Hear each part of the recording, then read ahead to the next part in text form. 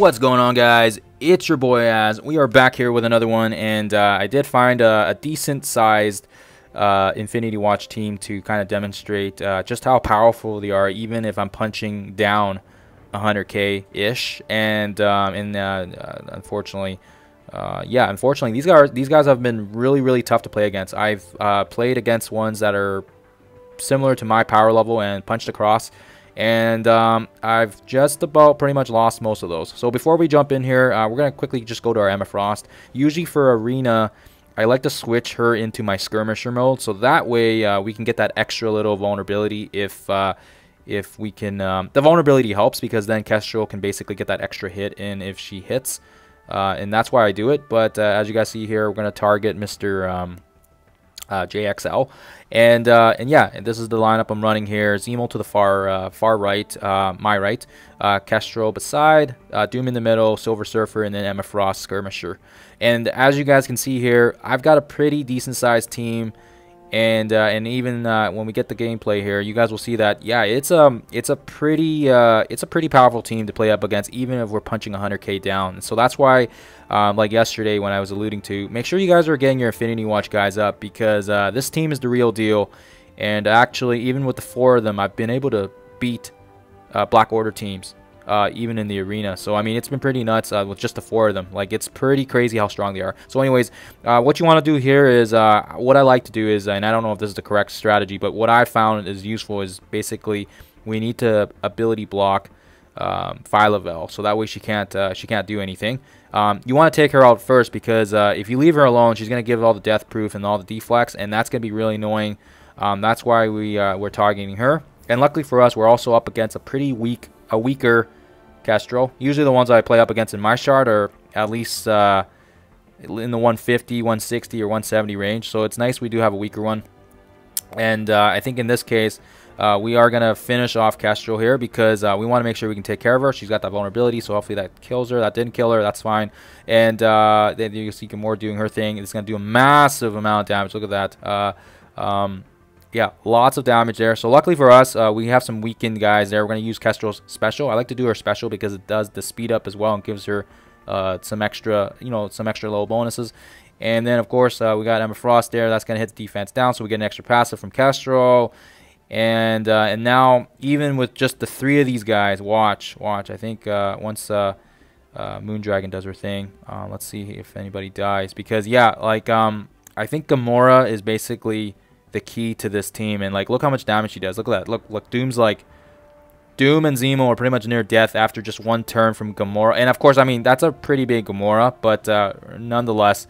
Um, and look at that. Oh, and Doom goes down actually. So, uh, pretty crazy. And Doom is uh, obviously I know you guys might not have Doom to play on this team. So another alternate would be um, Black Bolt. Black Bolt works good too, but as you guys saw there, he didn't even Doom. It didn't even matter that Doom was on this uh, one because he just got he just got nuked. And if anything, I think the uh, the Doom bots actually helped Gamora out because uh, it was basically able to feed her her, her turn meter. Um, yeah. So, anyways, uh, as you guys see there, we can finish off these guys here now. Gamora's gonna come back alive. Uh, just ridiculous, absolutely ridiculous how strong she is. Um, especially because this one's so big. Um, and and again, this is we're punching down 100k, and you know, look at that. Uh, Kestrel's dead. Zemo's almost dead. Um, so we do we do get we do get out the skin of our teeth here almost I'd say, but I wouldn't say it was a smooth victory by any means. And uh, unfortunately, um, if I if I find some other ones, we can try again here. But yeah, if I punch across, oh, oh, that's interesting. Oh, we it looks like we slingshotted it up here. Um, uh, it might have been attacking when he uh, when they were attacking, and it looks like we actually rocketed up to 19 instead of 23. So Sucks. Uh, that sucks for them, but uh, good for us. So as you guys can see here, um, the uh, there are some pretty crazy punch-ups right now on the teams, and unfortunately, like I said, it's a, it's a pretty nuts team to go up against, and I want to show you guys some more gameplay, but uh, it eats up quite a bit of time as well, so I won't do that, but uh, as you guys saw, we kind of slingshotted here, and uh, pretty nice for us, actually, because our one attack basically went from 30 it brought us to 19. So really nice there. Uh, sucks for, like I said, sucks for him. Anyways, that's it, guys. Uh, let's actually jump into the uh, the spreadsheet now, and uh, we'll take a look at our uh, our charts for today, uh, for day number six. All right, so just looking at the charts here, as you guys can see here, we've pretty much we had a really good start, and and obviously, as you guys can see here, we had a really bad day on the 25th.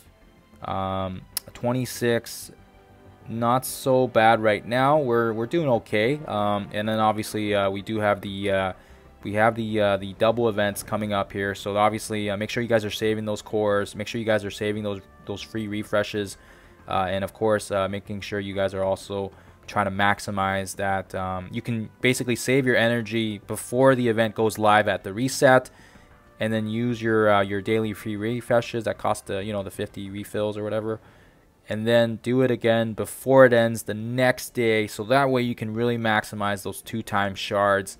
Um, and that's gonna probably be the biggest, um, probably the biggest source of your shards uh, for the event, and uh, hoping that it makes a dent for us. Obviously, uh, we still have quite a bit to uh, we still have quite a bit to get to because we need 165, and uh, we're currently, um, you know, we're currently, you know, in the halfway uh, halfway ish mark. Um, we just got to make sure we uh, we keep up and uh, we're smart with our resources. And I, like I said already, I haven't been spending my cores on on multiple man because he's already five, and I haven't used any energy on any other node outside of the Polaris nodes. So obviously that helps, and uh, and obviously because the other uh, the other three X Factor guys are already five yellow, so it works out for me in that way.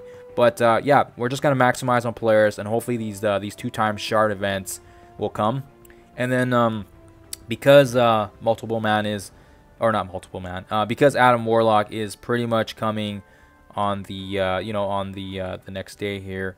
Um, we will be able to figure out how long his event will be, and that will dictate if we need to expand and and uh, adjust our spreadsheet. Because obviously, if if they give us more time, that's great. That means we can basically dial back on the cores, and and we can save a few as well and try to be more efficient. Um, obviously.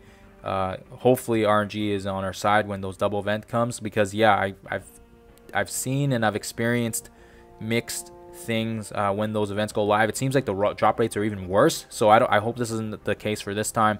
But uh, like I said, when I was farming for uh, uh Jubilee and when I was farming for um, I think Doc Ock the first time around on on the shards, I think for Negasonic, um, yeah, they were they weren't great. Uh, I was refreshing and it was like yeah, it was uh, it was all over the place. So anyways guys that's all we got for this time uh, hopefully you guys uh, hopefully you guys are prepping up well and hopefully you guys have had some decent rng as well uh, but that's the update here for uh, for today and we'll catch you guys in the next one